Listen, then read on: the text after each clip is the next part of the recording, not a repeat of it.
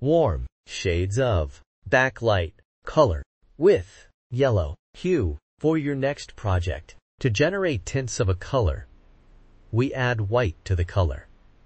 And tints creates light and exquisite emotions. To generate shades of a color, we add black to the color, and it is used in patterns. 3D effects, layers and shades create depth and drama.